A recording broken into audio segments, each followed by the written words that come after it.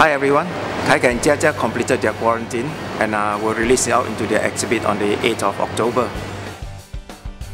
Both the giant pandas are settling well into their new exhibit. Jia Jia is uh, more active.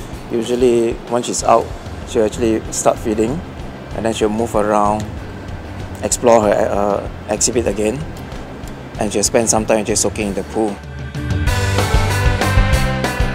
Okay, lately uh, Jia has taken to climbing the uh, tree trunks that have been planted in her exhibit.